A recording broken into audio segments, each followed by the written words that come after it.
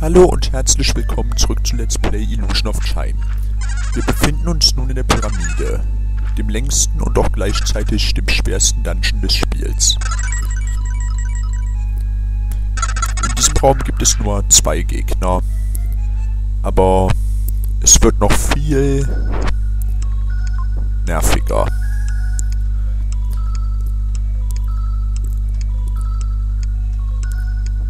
Nun bekommen wir unsere dritte Verwandlung, Shadow, den Schattenkrieger. Der kann eigentlich nicht viel.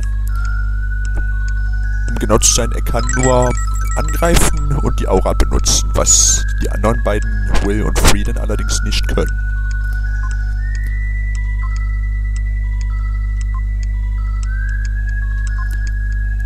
Ich bin aber nicht nur durch die Reise durch den Angkor Wat stärker geworden. Ich bin das ganze Spiel über stärker geworden.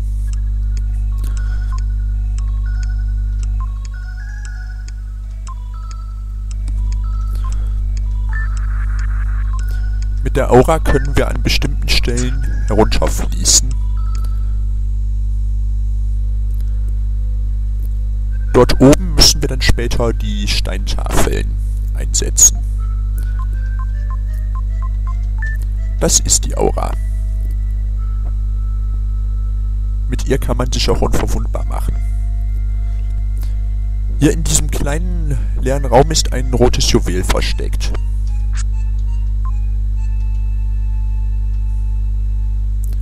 Wir benutzen es erst da unten.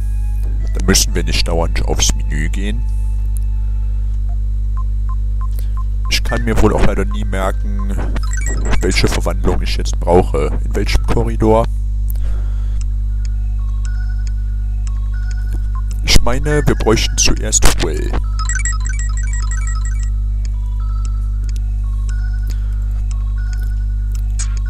Dieser Dungeon ist echt groß. Er hat auch noch gute fünf weitere Parts in Anspruch genommen.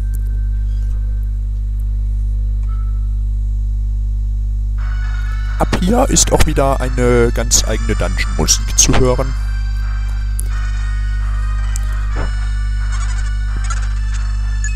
Man kann die Laserstrahlen nicht abwehren.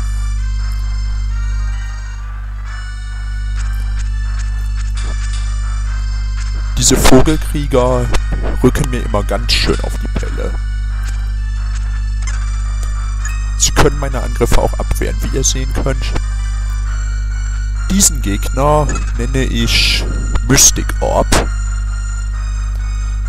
Falls euch ein besserer Name einfällt, könnt ihr es mir gerne in die Kommentare schreiben.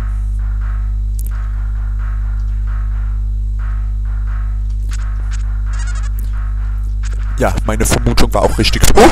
Boah, was hat er denn da gemacht? Frieden und Shadow würden hier nicht weiterkommen. Ja, müssen wir uns noch einmal aufladen.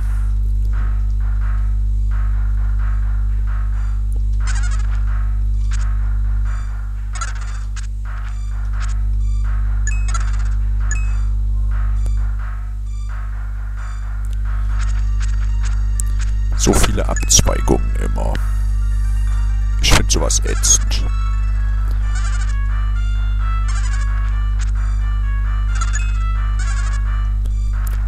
Sind aber auch irgendwie flüssig wie Wasser.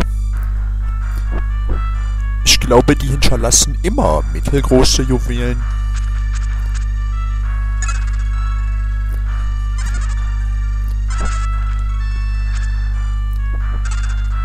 Man weiß nie, auf welcher Höhe sie sich gerade befinden.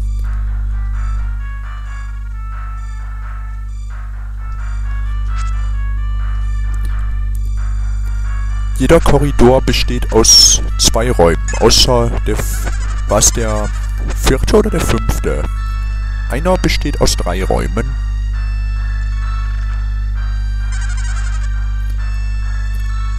Eine ganze Armee von diesen Dingern.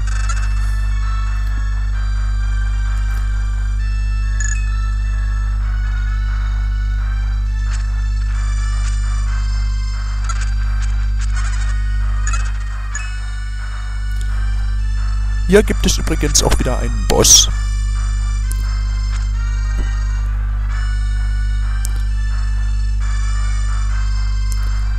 Oh, das war ganz schön hoch. Zum Glück konnte ich noch an dem Typen vorbei wirbeln.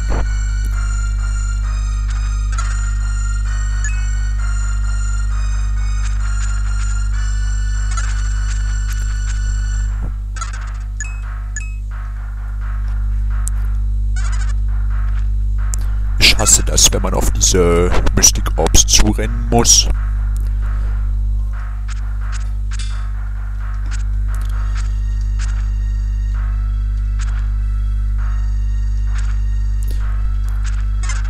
Die haben auch einiges an Ausdauer.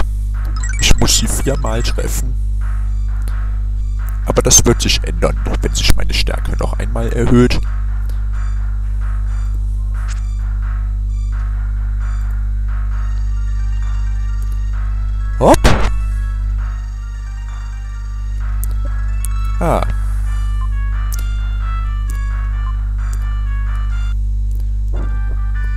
Auch schon die erste der Hieroglyphenschafeln gefunden.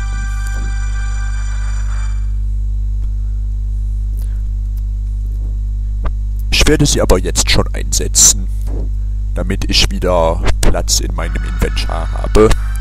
Ich bin einfach zu gut. Ich muss niemals Heilkräuter aufbrauchen.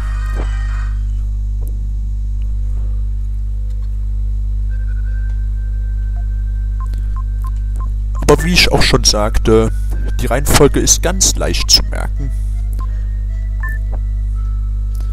Ich werde als nächstes in den zweiten Korridor von links gehen.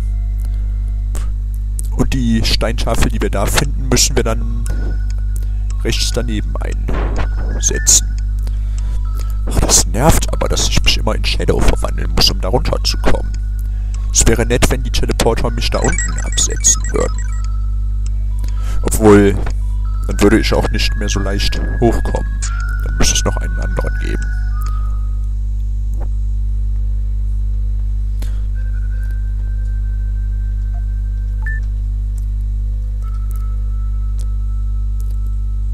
Wozu haben wir immer die schöne Vorspultaste?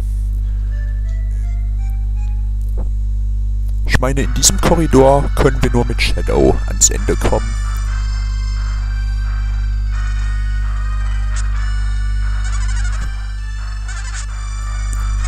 Shadow verursacht noch einen Punkt mehr Schaden als Frieden. Und hat er eigentlich noch etwas mehr Reichweite oder bilde ich mir das nur ein? Hm, schwer zu vergleichen.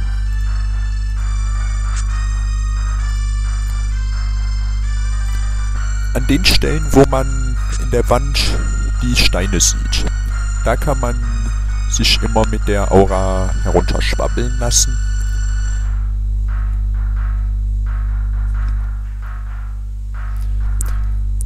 Irgendeine Person aus der Wüstenstadt Dao erzählt, dass diese Pyramide aus tonnenschweren Steinen gebaut wurde. Seltsam, dass die nicht im Sand versinkt.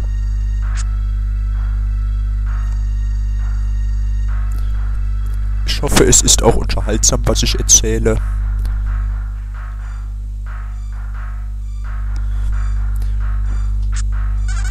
Es gibt in diesem Dungeon auch noch einen Gegner, der anfangs unsichtbar ist.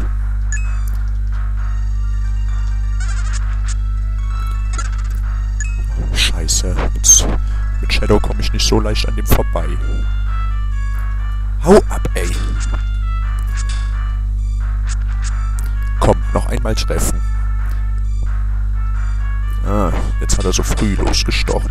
Oh, das war knapp. Und mit was werden wir belohnt? Ah, neuer Abwehrkraft.